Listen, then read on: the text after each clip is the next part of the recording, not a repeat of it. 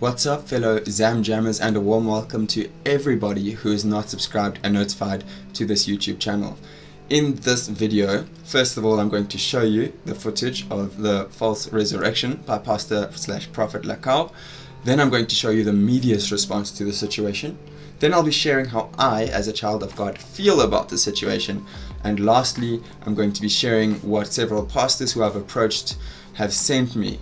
I approached them because I believe they have morally correct viewpoints and that they are all about what it is to be a Christian, which is love, loving people, and not all of the prosperity and all of the miracles and all of that stuff. So, yeah, that's what's going to be in this video. Stay tuned and let me know what you think in the comments below.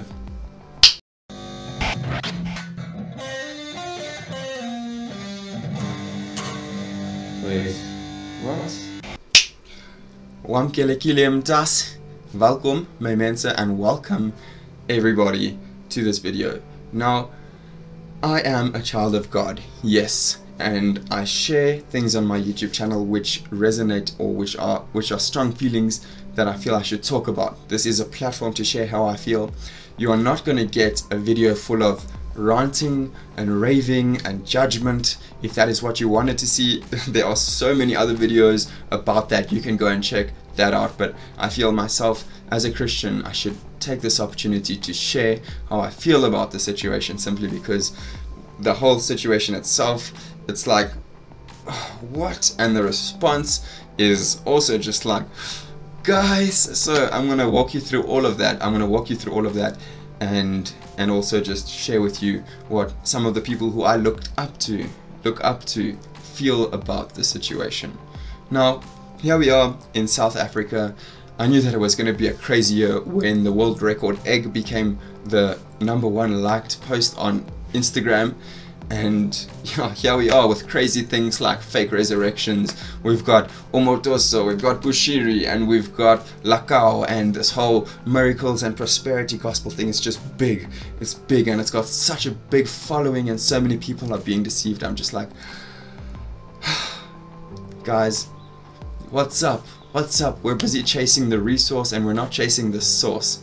Alright? So, yeah, this is the footage if you haven't seen it already. Somebody. He died since Friday. He was in a mortuary. This is a brother. And this is the landlord. And you, who are you? Family members. It's the mother of the of the wife. Uh, Come here. the This is the wife. Yes, this is the Come, wife. come here. This is the wife. Okay, okay, okay. Okay. Romosete. Jesus.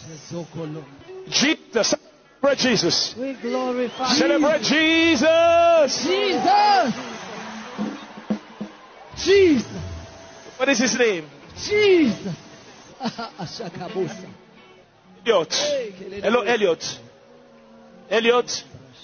Elliot. Jesus. Lift your hands. Lift your hands. Irakalamasa. My good God. Barabasa tabasa. Nombre balisokota. Zete. Hola sotokota. Marabushika. Jesus. Hola basato. Hola basato. Hola baharito Man of is commanding life. Rise up. Yes. Come on. Come on. Hey! Hey! Rising up! Hey! Jesus! Jesus! Hey! And now here is some of what the media is saying in response. If it's really true, why don't you then come with us, go with us to Qunu, and let's go and resurrect Mandela, and let's also go to these mortuaries and resurrect the dead. Now, if that doesn't shock you, you should be shook. You should be shook. Why? Because the fact is, by that reasoning, if he can resurrect one person, then why doesn't he go and resurrect a bunch of other people to prove that, you know, he's resurrecting people or that he can? You're, you're losing focus if that's the question you're asking, because that discredits all legit resurrections. For example, Angus Buchan, a, a big man of God who in the past has prayed for people to be resurrected by the power of God, and they have been resurrected. If you haven't seen the movie Faith, Faith Like Potatoes, go and take a look because that happens in there, and that's part of his testimony. Now, why don't we go to Angus Buchan and ask him, now why don't you go resurrect Nelson Mandela and all of these people because of this and that? That's absolute rubbish. Can I just say that's rubbish? It is God's will to resurrect people. If it is going to happen, it's by His power and not by people's power. And for that reason, you can't just go and resurrect people in the mortuaries. They've come, they've gone. It's sad. It's part of life. And who are you to like say it's the will of God to go and resurrect these people. You can go and try and pray for those people to come back to life. I don't know if they are going to. I mean, if it's God's will, maybe a miracle happens and it does. But hey, I mean, at least there there will be a legit death certificate, not like what we're seeing over here. No, no, guys. Now I'm going to pose a system on this on this like to get to the root of the issue because I am I've studied computer science it's I'm all about finding the root of the problem and moving forward so we can develop a solution because what are we doing if we're just judging people and focusing on the problem and not moving forwards. We're just going to stay here forever and I don't like this place to be honest. I don't like being here where we're just focusing on other people's mess ups and all of the all of the negative when we could be moving forwards and learning from this. So that's what we're going to do. Toyota is a big car company that you probably know because I mean they've made it they've made it work. One of the systems which they used was to ask the question why five times over. If something is wrong, ask what is the problem? Okay, this is overheating. Okay, why is it overheating? Okay, this and that and what. So they get to the root of the problem, right? Then they move forwards, they solve it, and here, here they are. We know who Toyota is. They've obviously done something right. I'm gonna I'm gonna use that same system over here. I'm gonna ask the question why a few times over so we can get to the root of the problem.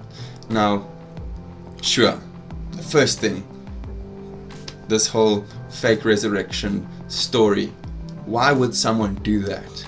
Well, I believe because currently it is a big thing. Miracles and prosperity, it is populist. It is everywhere. Like driving around Joburg, seeing signboards and posters, healing church, come for miracles on Sunday, this and that and all of that stuff.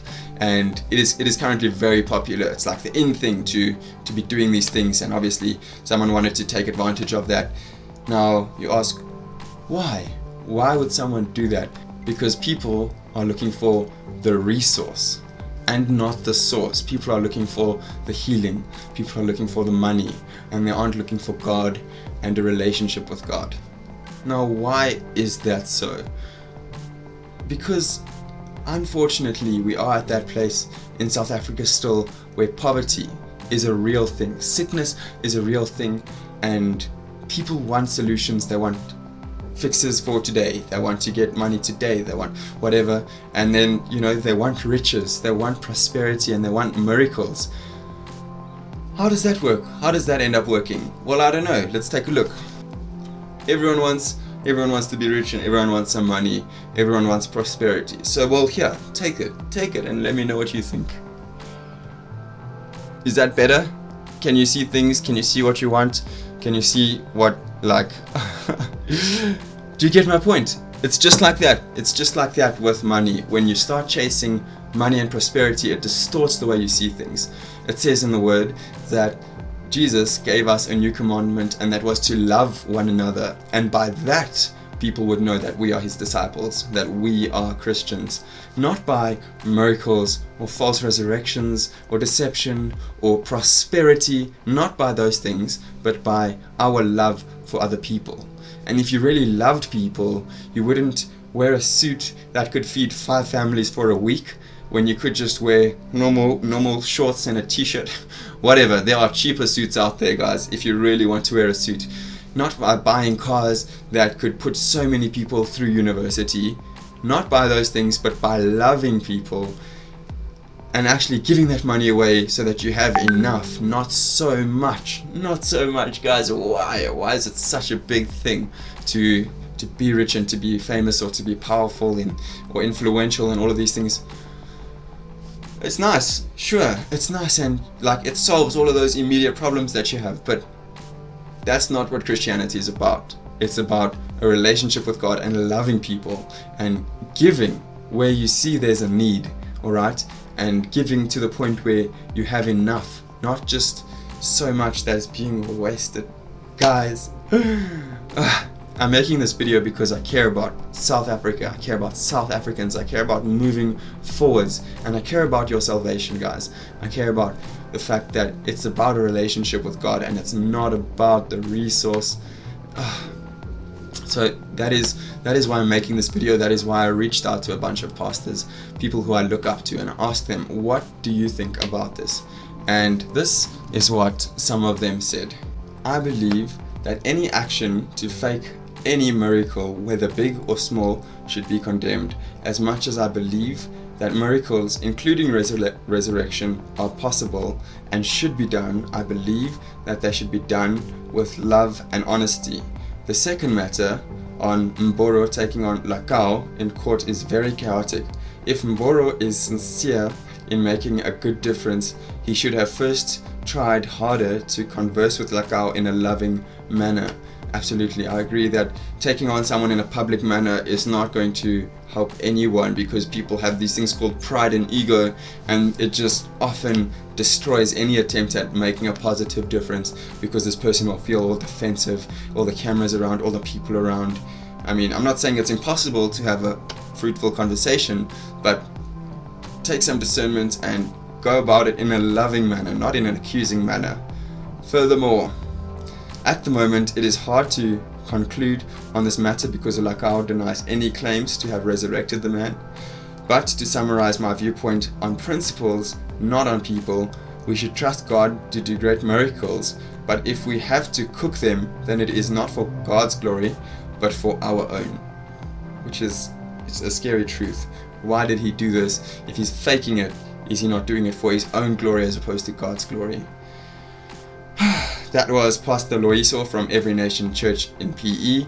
He was my pastor for a while while I was studying at NMU. He's an awesome guy, such a down to earth guy, and I really respect his perspectives. So there you have his. Then we have Pastor John Cho, who is all the way down from South Korea. He is a missionary who's come to raise up disciples here in South Africa to invest his time, his effort, and energy into just raising up people who who want to share his heart for God and want to want to do his works. And he's such a humble guy. I really respect this man. And this is what he says. To me the incident just shows that there are many churches that have that are so fascinated about a appeared phenomenon instead of revealing the will of God through the word I believe God still does miracles and works through spiritual gifts, but I am concerned about the danger of some charismatic movements that lost the balance. In the video, pastors judged the extreme case of faking resurrection, but it's a matter of extreme. It's true that many church leaders out there are also exaggerating and fake miracles, healings, and prophecies. It's true, it's true. I believe followers of Jesus should pursue personal holiness and intimacy with God through the word and prayer and celebrate the greatest miracle that happened in our heart, which is the grace of God that transformed our stubborn, self seeking, sinful heart to God loving, obedient, and a trusting heart. We should focus more in encouraging each other to live by faith, which is unseen, the God in the Son of God instead of seeking only instant solutions through miracles which is which is again so on point i i really thought there was a lot of truth in that and i hope that you could see some of the truth that was in that I wanted to share this perspective with you because I feel this is a very pressing matter on my heart and way better to share than on a platform where there's endless reach. I wanted to share with you on the internet how I feel as a child of God about this situation that's going on, and not in a judging tone, but out of love for the people here in South Africa. I feel I've said enough on this point. Let me know what you think in the comments below. I would love to engage with you. If you have any questions on the matter, I will more than gladly go and forward those questions to, to some of the leadership who I look up to to get answers if I feel I don't have the answer. But yes, that is all from me. Thank you so much for watching. If you're not yet subscribed to this channel, by all means do so. I post a lot of content Xhosa lessons, how I feel about topics which are relevant to South Africans, like this one, and yeah, just sharing about the things that go on in my life. South African culture is one of the main themes on my channel, so stay tuned if you are South African or interested in South African culture. But yes, that is all from me. Thank you so much again for watching. Zamjammer out.